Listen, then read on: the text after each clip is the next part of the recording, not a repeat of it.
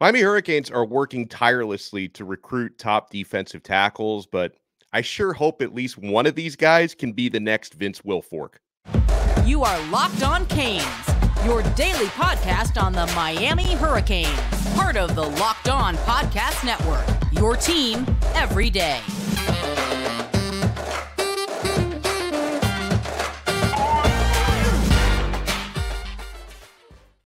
I am Alex Donno, University of Miami alumnus, longtime South Florida sports radio vet, and writer for allhurricanes.com. Thank you to the everydayers for making Locked On Canes your first listen and your first watch today. We are free wherever you get your podcasts. We're free on YouTube. We're part of the Locked On Podcast Network, your team every day. Today's episode is brought to you by Nissan. Are you the kind of driver that likes to push things a little further? Ever wonder what adventure could be around that next corner? Take the Nissan Rogue, Nissan Pathfinder, or Nissan Armada and go find your next big adventure. Check them all out today at nissanusa.com. It is a Truth Teller Tuesday. And I'll tell you guys, Mario Cristobal is not the best recruiter in Miami. The best recruiter in Miami is this man because he recruits the top guests here every week, especially on Tuesdays at Locked On Canes. Bruce Warner, how are you, sir? I'm doing great. I'm thrilled with our guest. I told you a while ago I was going to get him on, and this is the perfect time. It's it's Vince Wilfork. Who I mean, who better than national what's- champ, what's going on, Super Bowl champ?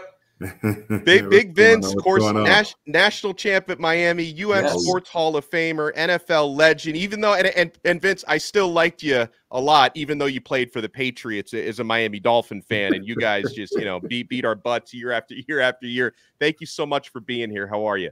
I'm good, man. Everything's wonderful. I'm sorry to hear that you was a, a Dolphins fan. Long suffering.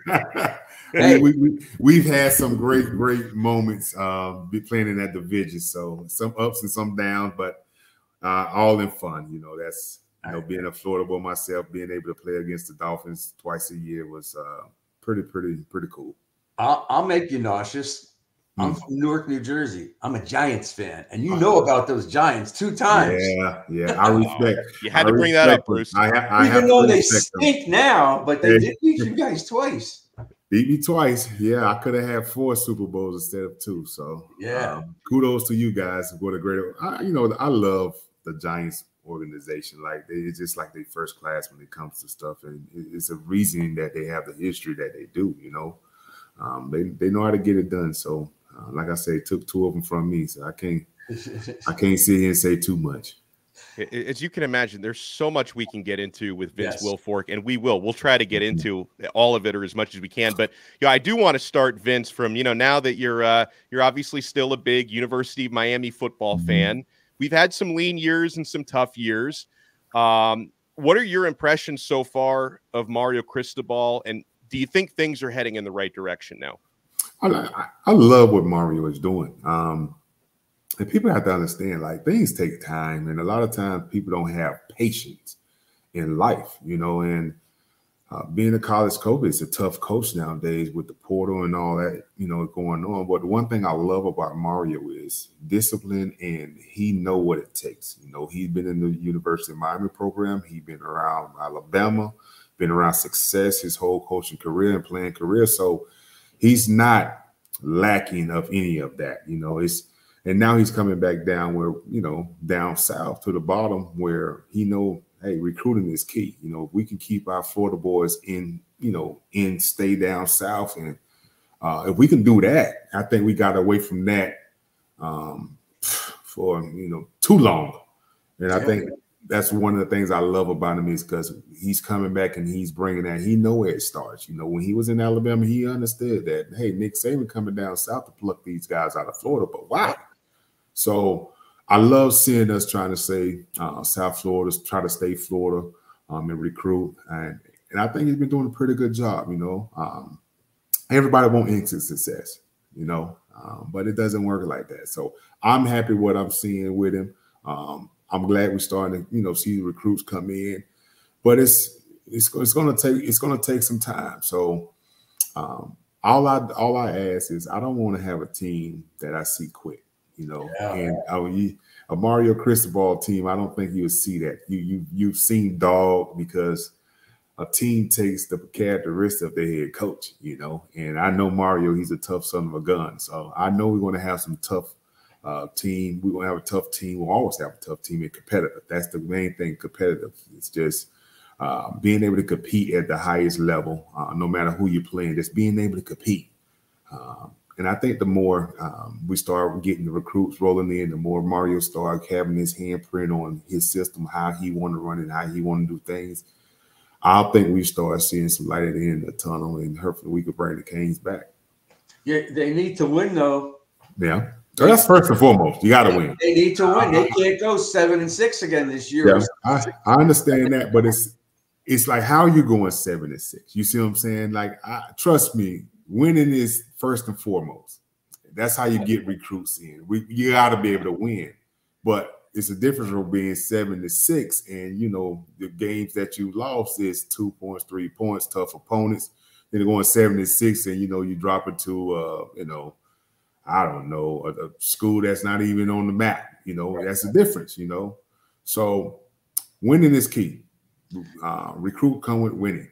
You know, and can, can, I can I by the way can I can I recruit you onto the coaching staff because I no. uh, coaching, you know that I'll help much as I could, but coaching I that's too much time consuming. But yeah, I love the Hurricanes. You know, I've been around them a lot last year, and I told Mario I'd come around, but I travel a lot and I move around a lot. So uh, I spend a lot of time down there last year doing the season, early part of the season and stuff, and just to see how they work, see how they run, and all that stuff. I like what I see. Um, the kids want to play for Mario. That's the thing. You, you, don't see kids that saying, "Ah, f him. I'm not doing it. I'm not. Want."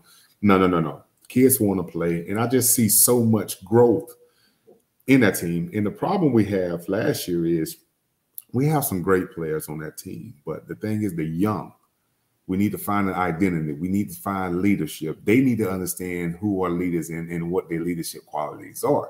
Mm-hmm. So when you have a bunch of team that's just running around and doing all this right here, and everybody's young, so you're looking at each other like, okay, who's going to say something? Who's going to lead us? Like you, you know. So I look forward this year to be a lot different because those younger guys that played like Bain and those guys that made those plays and and show all of us um, that they are came, they came, you know, they are came um, bred this year is going to be different for them. So that leadership, I think the leadership have to come up and they have to understand what it takes to lead.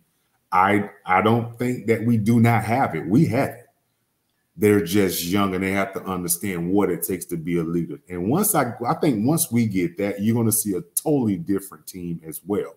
Mm-hmm. Um, it's just something about playing for one another, one another, and you're growing together. You know, we got a bunch of guys that was freshmen, sophomores. Not now we, you know, they sophomores, juniors. Now they starting to grow together. They starting to put in the work that they've seen they've done these past two, three years. It's, it's starting to come together. So now you start to have that leadership and, and all of that stuff. You starting to play for one another because it's family, you know. Yeah. Um, now, uh, and I think that's where we're at now. So those young guys, they have to raise, to rise to the occasion and understand they're put in the hot water right off bat. You don't have two, yeah. three years and your turn to be a captain or lead. Like, no, you need to learn how to be a leader right now as a freshman and as a sophomore because that's your team. They have to understand that. And once they understand that, you will see a different ball club down here at UM. And we also lose a lot of guys constantly to the draft, probably before they should even leave. Like the two yeah. who didn't run too well and Leonard Taylor. I don't. He didn't really do much when he was here. I don't think any of those three guys should have left, but they did. So we have to deal with it. Mm-hmm. And, I, and I agree. I don't think they should have left, but you know, it's, it's so hard now. You know, it's when I played, we we knew like, hey, if you win and play ball, that'll take care of itself. You're gonna be three years and you're gonna be gone, or you're gonna be four years, you're gonna be gone. But that wasn't nothing that we ever really really cared about. Our goal was we want to beat everybody brains in in college. We're going to talk to you and tell you how good we are, and we're going to show it to you. And we know when it's time to get drafted to come by, we, we don't really have to go to Indy. They'll come to us because everybody want to come to South Beach. So We'll wait down here for you guys to come see us down here. Then we'll put on our showcase here on our turf. You know, that's how we handle things. We didn't have nobody in our ear saying, "Hey, you need to do this." You project like we didn't care about that because we were so much a close knit family. All we wanted to do is play with each other. We never wanted to end. You know, like we Hurricanes. We know what it stood for before us, and we was going to make sure we we carry that torch. So I'm not so sure that the winning was as important to these guys as, as uh, getting ready to get into the draft. Even yeah. I said I've said this on the show a million times. These kids do their high school commitment announcements on TV, ESPN. They have the hats. And if you listen to them, Vince, they all say the same thing. I'm taking my talents to Miami for the next three to four years. And I've always said this. They're halfway out the damn door before they get here. That's where their mindset is at. Well, the problem is, is the problem comes in little league now because you got little league and you go recruit this little league guy, this little league kid, and you treat him certain type of way to come play for your ball club, right? Now you go to high school. Once again, now high school, they're competitive. Now they're recruiting. They going to plug guys because they want the number one team in the state. And high school so NIL has started by the exactly. Way, so it's like high school. Yeah. So you know, and now they go to college. You know, with the portal, if a coach yell at me, I don't have to take that. I'll get in the portal and I leave. So as a coach, your hands are tied, saying, "Okay, I got to treat him a certain type of way. If not, he's going to leave and go play for such and such, such and such." Okay, and now we get to the NFL, but see what they fail to realize that shield don't bend to no one. So that shield is that shield. That shield been around before us and is going to be here after us. It's a certain way that shield is handled. So if you getting catered your whole life and all of a sudden you at the NFL in that shield and you think you about to get catered in, like listen here, it's a production company. It's a production league. If you do not produce, I don't care if you round one, you're number one overall, or you're the last pick of the draft. If you do not produce, they will find somebody that will. You don't have, they don't pay you to go to class. You know, like it's this is a real deal. They're not going to be like your mom and dad to make sure. No, they're not going to do that because if they see a problem with their product, they will make sure they clean that product out. That's just the way it is. Well, we got and, a lot more. Oh, so, sorry to cut you off, Vince. Uh, yeah, no, that's it. No, that, that, I'm just saying that's that's the problem. So it starts yeah. all the way down the little league, all the way through. Yeah, know? well, we got so much more we want to get to here with Big Vince Wilfork, legendary University of Miami and NFL defensive tackle. I, I want to dive deep, Bruce and I, on the defensive tackle position with Vince, mm-hmm. and yes. got to get some stories from 01, uh, you know, the glory of 01, and then what should have been glory in 2002. Yeah. I'm, I'm, still angry about that. Oh, 22 yeah. years later, we all are. I have not let that go. you, guys want to keep it locked right here. We got Vince Wilfork with me and the Truth Teller. We are only getting started on this episode of Locked On Canes. And my friends, I'm only getting started on FanDuel. We're winning money. I know football, football's on hiatus right now, but we got college basketball heading into the tournament. We've got NBA games happening every single night, NHL. Folks, you can get buckets with your first bet on FanDuel. America's number one sports book. Because right now, new customers get $150 in bonus bets with any winning $5 bet. That's 150 bucks if your bet wins. Uh, I've been cleaning up on these Miami Heat bets lately. They've been so good. You can bet on all your favorite NBA players and teams with quick bets, live same game parlays, exclusive props, and so much more. Just visit fanduel.com slash locked on and shoot your shot. That's fanduel.com slash locked on. FanDuel, official sports book partner of the NBA. Thank you so much for making this Truth Teller Tuesday episode of Locked On Canes your first listen and your first watch today. We're free wherever you get your podcasts. We're free on YouTube and we're part of the awesome Locked On Podcast Network. Your team every day. Bruce Warner and I are joined by the man, the myth, the legend, Vince Wilfork. Now, you know, Vince, you were, and I don't think it was a coincidence, but you were part of a lot of uh, winning teams throughout your college and professional career and mm. high school and, and so on. I'm sure, uh, you know, you won Super Bowls in New England, but was there anything like that 2001 national championship team? Because you, you especially look, we knew at the time how talented you guys were, but now you look back on all the great NFL careers and all the Hall of Famers. Like, was was there anything else like that team you played for in 01? And there's a future Hall of Famer right there, along with Gore and a bunch of other guys. Absolutely, 100%. They're all going in. Yeah, yes. I hope so. Hopeful, you know, but that team was so special. Um, you know, looking back now, we knew how good we were then, but we were challenged so much from our our coaches, from Andreu Swasey, our strength and conditioning coach. I mean, he kept us locked and loaded. No matter how good we thought we were or what we did, he made sure like he kept us humble.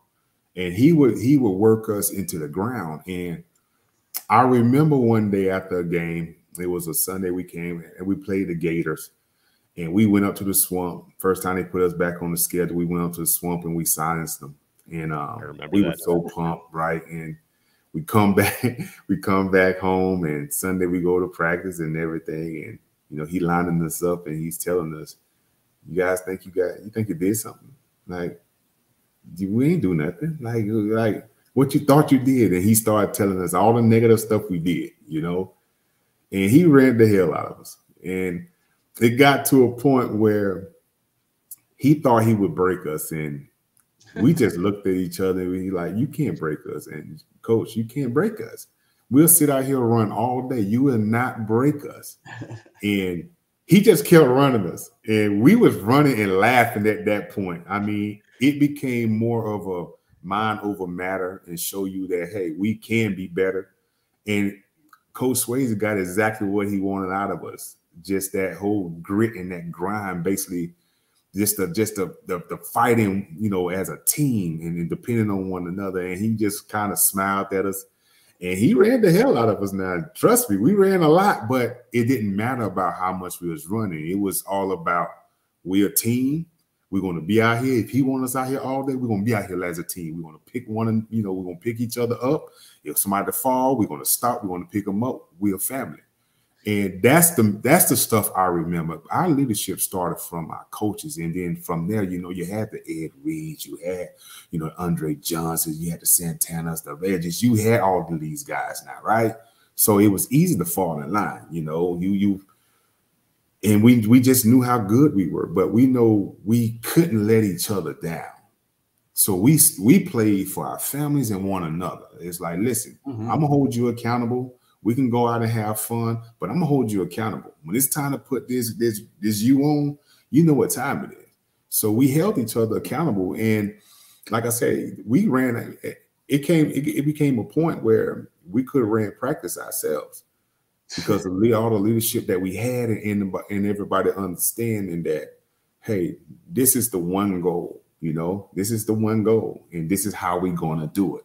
And uh, I've learned that very early in my career at UM and, um, you know, going to the NFL, being in a situation with a lot of leaders and stuff, but I've, I've known and I've seen what was leadership. I knew what it was. I know what it took. Um, and it just helped my career, you know. And those are all the things we learned on the Greentree. You know, you know just playing for one another. And in the game that almost gave every Miami Hurricane fan a heart attack was the Boston College game. Oh, yeah. because I got to tell you something, man. You guys almost made the careers of these cardiologists because all of them, what, what the hell is this?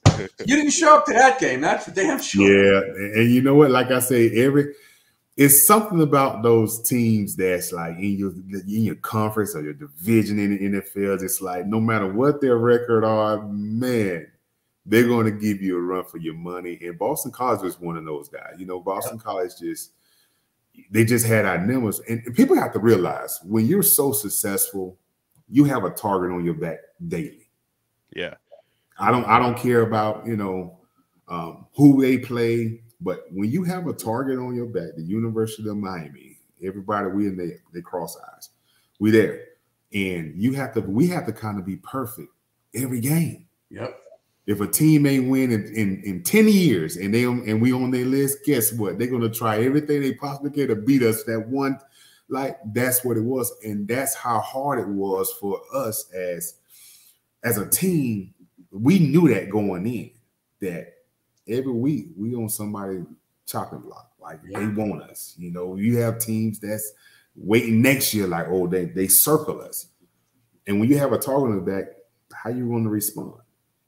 It's like you're going in the battlefield. You know you got to go on the battlefield, but you have to go in and do what you got to do. What can I do to keep my troops safe and myself safe and, and accomplish this job? Because we know we're going in the battle.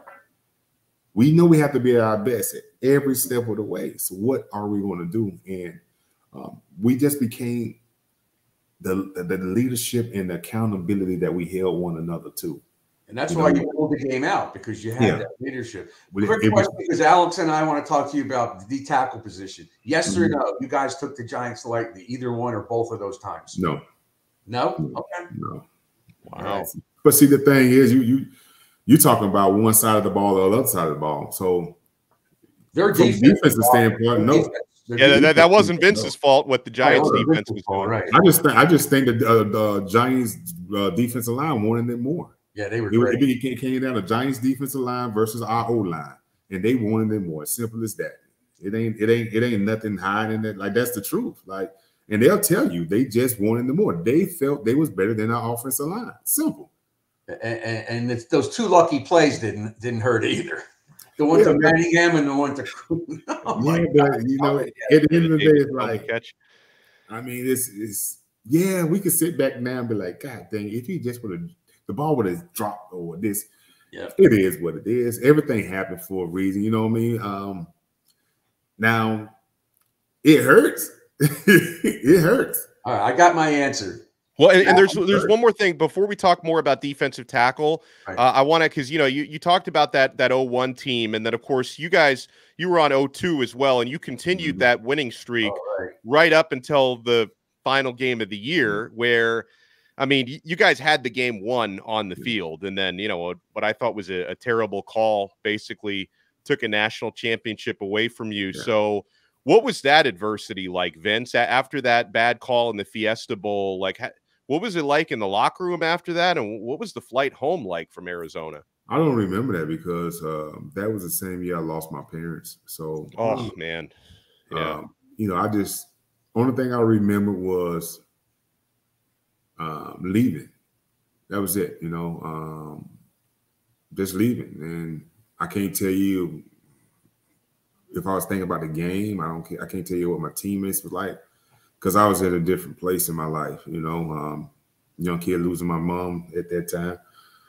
Um, so I, as a football player, I didn't know like, you know, how we felt after that game because I had other stuff on, on my. Yeah, but sure I just tell you, going into the next season, um, we would we we felt some type of way. We did. Um, we felt that we were robbed later on, as you know, time when we we knew it was robbed. We felt we was robbed, and but once I tell you, let, let me tell you something. I like I said before, once you have a target on your back, everybody will want to get you no matter how you slice it. You got to understand the University of Miami been having a target on their back before the 2000s. Let's talk about that. We can go back to the 80s. So yeah. we've always had a target on our back. And as soon as somebody think they can get us, they try.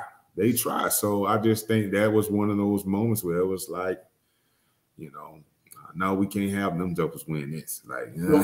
this is my opinion. To me, that was a bad call, and I get it. But as far as I'm concerned, you had them fourth and 15 Yep. And they hit a, an out for 15 and a half yards. To me, Randy should have blitzed. He should have gone after that kid because he sat in the pocket. he he had time to throw that out pass. Yeah. That's where the game was lost because that was fourth and 15 and no business getting the first down. That's my opinion. Yeah, fourth and 15. Like, like I said, I have no clue. I can't I can go back and watch and just see how it all unfold. Only thing I when one thing I do remember is the quarterback hurt us with his legs a little bit. I knew that, you know. Mm-hmm. Um, but you know, the thing is, it's like it is what it is. We every game you can go through the game and say, "They would have done this, or we would have done that." It wouldn't have led, led up to that, but it is what it is. Like, but fourth and fifteen against that defense, it, I just yeah. That's still, it still bothers me. All right, Alex, let's move on to what we want to talk about. Well, and, and, and, let yeah, well, I mean, I think everything we've talked about is something we want to talk about, and we're not done yet here with Vince Wilfork. Pleasure of being joined by one of the great Miami Hurricanes defensive linemen. You guys want to keep it locked right here on this brand new episode of Locked On Canes. And I know you're keeping it locked to the awesome new Nissan lineup. I mean, guys, SUVs galore with Nissan? Are you the kind of driver that likes to push things a little further? Ever wonder what adventure could be around the next corner? Our friends at Nissan have a lineup of SUVs with the capabilities to take your adventure to that next level. The 2024 Nissan Rogue is perfect for city drives and great escapes. Class exclusive Google built in is your always updating assistant to call on for almost anything. Gone are the days of connecting your phone to Google Assistant. Google Maps and Google Play Store are built right into the 12.3 inch HD touchscreen infotainment system. The 2024 Rogue is the perfect mid-size crossover for your next adventure. How about that 2024 Nissan Pathfinder? Has room to seat up to eight, an expansive cargo capacity, and advanced available 4x4 capability. With 284 horsepower and up to 6,000 pounds of towing, when adventure calls, the Pathfinder is there to answer. Take the Nissan Rogue, Nissan Pathfinder, or Nissan Armada and go find your next big adventure. Shop nissanusa.com. Thank you so much for making this episode of Locked On Canes your first listen and your first watch today. Just so you know, no spring practice today, Tuesday. They're going to be back tomorrow. Uh, if, so if you're looking for material coming out of day one of spring football yesterday, you can find it from our two episodes yesterday right here on Locked On Canes. And of course, we are going to be all over it tomorrow after spring football practice number two. Uh, we're joined, Truth Teller and I, joined by the great Vince Wilfork. Uh, now, Vince, um, how how has the defensive tackle position evolved in your mind? Like it seems like, and you were ahead of the curve on a lot of this stuff because uh, you were you were a unicorn, you know, back in your day. But there, there's a lot more premium on pass rushing from the interior, I think, than there used to be. So, how do you kind of view the ideal defensive tackle for this day and age? Well, they're all they're they're a lot slimmer. Um, they're not as big as that we used to be. Um, they're a lot quicker, um, a lot faster. You know, I think NFL, NFL and, and, and, football now is a, is a is a scoring and passing league. So it's like you want to get as you know much speed as possible you want on the field to kind of combat what the offense is doing. Um, so that's why I think it's a little different now uh, because of what you know what they're asking for. Um, so you can't have a good you can't have two three hundred pounder defensive tackle that's that's that clog holes and they're throwing 50, 60 times. Like it just doesn't work like that. Um, so now I've seen that change over time with myself, and now what's going on now, just a lot of speed. You know, a lot of speed, small and speed, speedier guys, and because they want to get to that quarterback. And I understand it, um, but I'm still waiting for that one team to really uh, catch everybody by surprise and force people to play the run. Like, yeah.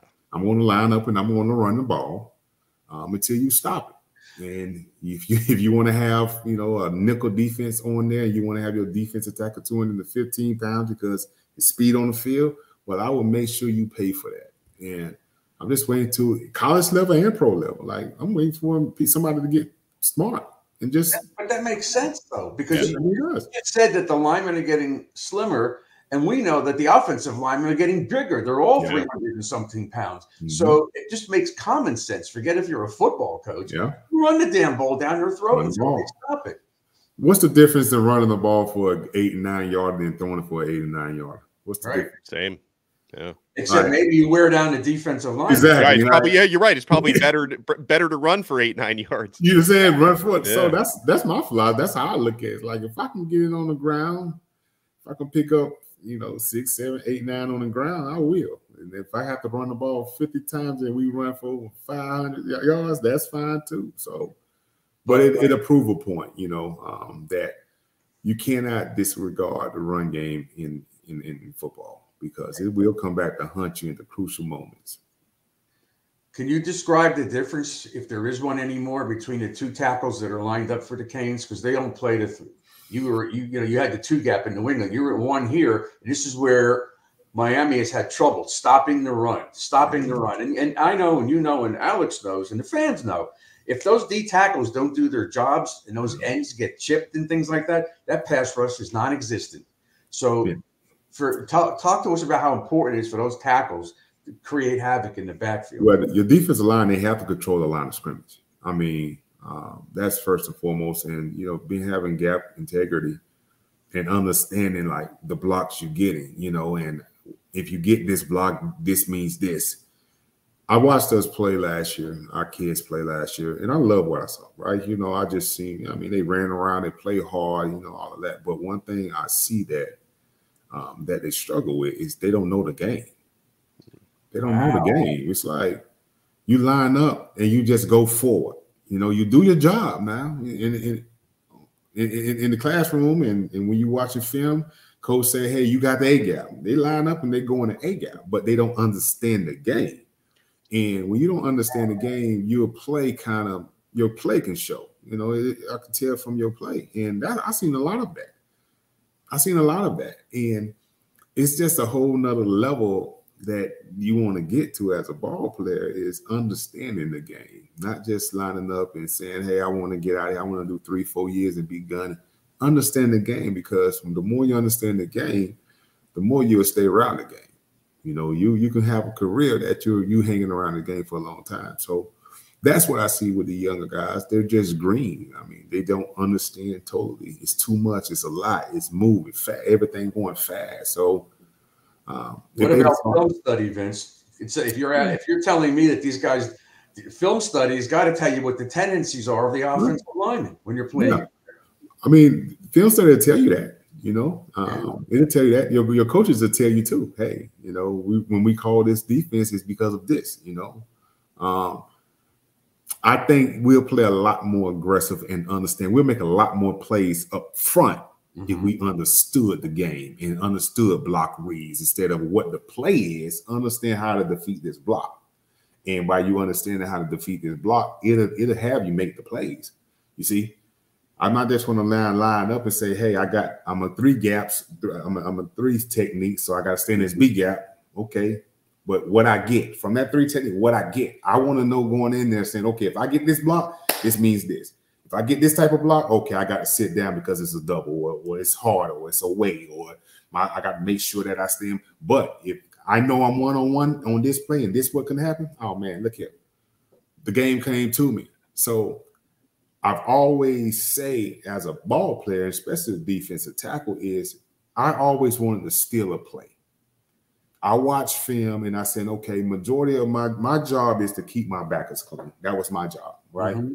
But I also said to myself, if there, what is a, what, let me find one play that I can steal in the game, and that might come from film that I watched of this team you know, three, four, five years ago, or if this coordinator was in college and he ran a certain type of offense, I will watch that college film, whatever it may be. But I always try to find one play that I can steal. So I'm like, okay, if I can steal this play, that is like the most remarkable thing ever. You know, like here I am now. It's like, man, how did you know? You know, and a lot of um, that's tendencies. You learn tendencies. Coaches should know the tendencies too. Tendencies. And, but but yeah, that's important stuff. Yeah, tendencies, man. Just understand down the distance and yeah. where you're at on the field and who's in the backfield, how many backs you have in the backfield, the wideouts, the splits, the motions. Like when I tell you understanding the game, but I'm not telling them to go that deep. But the guy in front of me, I have to know everything about him mm-hmm. and what he's doing and why he's taking this jab step. And I, you know, I need to know that, and I need to know what is the play. So it's film study. Well, this is just a, t- tremendous education here from Vince Wilfork, and we appreciate you taking some time after you know a truly legendary career. And and Bruce, you said it earlier, we got to get this guy in the Pro Football Hall of Fame. If they're you know, we will. We'll have yeah. to make some phone calls, man. Hey, we're gonna see, baby. Like I Are say, you in the I'm College Hall of Fame. Yeah, no, no, no, no. Neither is Sapp, believe it or not. Wow. And no, I wrote a letter to them, but I don't really? know help. Yeah, Sapp should be in there. Sure, he should be. It's he ridiculous. should be yeah. in there. Yeah. yeah. he yeah, what he meant to college football, absolutely. You know, uh, Jerome Brown and Cortez, Russell Sapp. Look here, those was the guys I followed. Right. Like I wanted to be those guys, you know. Why not? And they all had hell of a career. Jerome Brown probably was the best out of all of us. And people don't and people don't even understand that. JB, you know, JB was the baddest boy ever, you know, and I give that props, you know. So um, we have a tradition of defensive tackles, you know, and I want these guys to understand that. Like, man, we have a we have a we have a we have a long list. I mean, you pick a position, and then you go to the NFL and see the type of that position what we did, you know, mm-hmm. and have have like the confidence and have the like the whole understanding of what this U stands for. Understand that. Understand these people that played before you, yeah, they we might be dinosaur and old age to you guys, but listen, we laid they laid the foundation. understand that. And I don't think we get that anymore. You know, I don't get guys really understanding because we're not winning and we're getting dished dished by ESPN and every little stupid everything. We never like, they, they, they, beat uh, Middle Tennessee State. What are you serious? Yeah. Like we get, we have to take back that pride. Like we have to take back. Like we ain't taking no crap from nobody. Like this is it has to start somewhere. It has to start somewhere. So it's like I'm ready for that to happen. And I think the more confidence these guys get and they understand they can do it, mm-hmm. it's all about just doing it, you know. Um, so we'll get there. I think with Mario leading to him, I think we'll we'll get there. You know, we just need the recruits. We need to keep South Florida in South Florida. Like that's how we built. This is how we were built. This is how the Hurricanes was built. We South Florida. This is it's a reason that these other schools all come to South Florida to recruit. It's a reason. It's a reason that if you look across the NFL, you have some type of connection that kid that, that, that these players lead from Florida. If it was college, born, high school, there's a lot of Floridian going on in the NFL. It's a reason. It's a reason. So these kids need to understand we when they're in our backyard. Why leave your backyard? Right. You know, but we got to start winning. Yep. Winning is everything. It takes care of everything. Amen to that. Well, Vince, I appreciate your time so much, and and we no won't problem, be strangers. Man. We'd love to have you on again sometime. And Bruce, uh, fantastic job with uh, with your continued recruiting. We might have to get you on Mario's staff. yeah, well, thank you guys. Thank, thank you. you. I really appreciate. It. I'll see you out there, either at, yes, the, at the spring yes, game or at the on the field, whatever. We'll get together again. Well, I'll be down there in the spring, so you'll see me around. We'll, we'll okay. see you then. We'll talk to everybody next time on another episode of Locked On Canes. We are part of the awesome Locked On Podcast Network. Your team every day.